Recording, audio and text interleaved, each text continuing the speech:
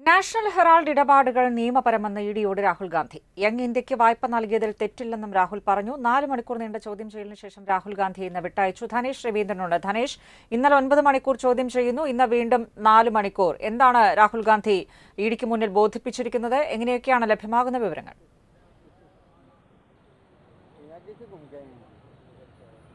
രജനി ചോദ്യം ചെയ്യൽ അവസാനിച്ചിട്ടില്ല എന്നുള്ള വിവരം തന്നെയാണ് ഇപ്പോൾ നമുക്ക് ഇ ഡി വൃത്തങ്ങളിൽ നിന്ന് ലഭിക്കുന്നത്. നമ്മളിപ്പോൾ ഉള്ളത് ഇ ഡിയിലെ ദില്ലിയുടെ ആസ്ഥാനത്ത് തന്നെയാണ് ഉള്ളത്.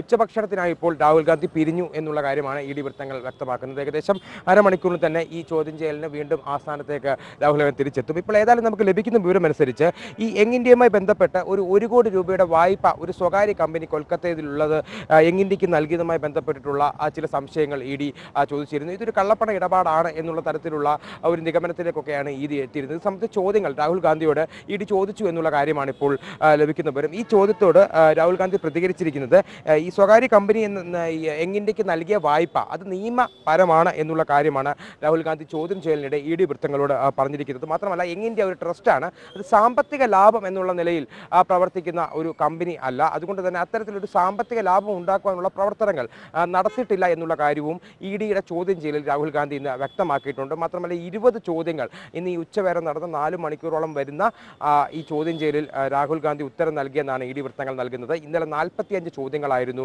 വിശദമായി തന്നെ ഇ ഡി രാഹുൽ ഗാന്ധിയോട് ചോദിച്ചിരുന്നത്. ഇതുമായി ബന്ധപ്പെട്ട സ്റ്റേറ്റ്മെന്റിലടക്കം രാഹുൽ ഗാന്ധി പിന്നീട് തിരുത്തലുകളടക്കം വരുത്തിയതിന് ശേഷം ഒപ്പിട്ട് നൽകുകയും ചെയ്തു. ഏതായാലും ഇന്നും രാത്രി വരെ ചോദ്യം ചെയ്യൽ തുടരാനുള്ള ഒരു സാഹചര്യം തന്നെയാണ് ഉള്ളത് ഈ രാഹുൽ ഗാന്ധിയുടെ ചോദ്യം ചെയ്യൽ ഒരു പക്ഷേ ഒരു ദിവസം കൂടി നീണ്ടേക്കുമെന്നുള്ള ചില വിവരങ്ങൾ ലഭിക്കുന്നുണ്ട്. ഇതിന് ശേഷമാകും ഇരുപത്തി മൂന്നിന് സോണിയാഗാന്ധിയെ ചോദ്യം ചെയ്യലിനായി വിളിപ്പിക്കുന്നത്. ഇരുവരുടെയും ഈ രാഹുൽ ഗാന്ധിയിൽ നിന്ന് ലഭിക്കുന്ന വിവരങ്ങളുടെ അടിസ്ഥാനത്തിലുള്ള ഒരു ക്വസ്റ്റ്യനെയർ ആകും.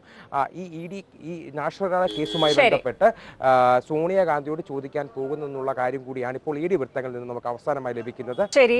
ധനേഷ് നൽകുന്ന വിവരങ്ങൾ അനുസരിച്ച് രാഹുൽ ഗാന്ധിയുടെ ചോദ്യം ചെയ്യൽ പൂർത്തിയായിട്ടില്ല. ഉച്ചഭക്ഷണത്തിന് പിരിഞ്ഞതാണ് രാഹുൽ ഗാന്ധിയെ ഇ ഡി വീണ്ടും ചോദ്യം ചെയ്യുന്നത് തുടരും എന്ന് തന്നെയാണ് ഇപ്പോൾ ധനേഷ് രവീന്ദ്രൻ അവിടെ നിന്ന് റിപ്പോർട്ട് ചെയ്യുന്നത്.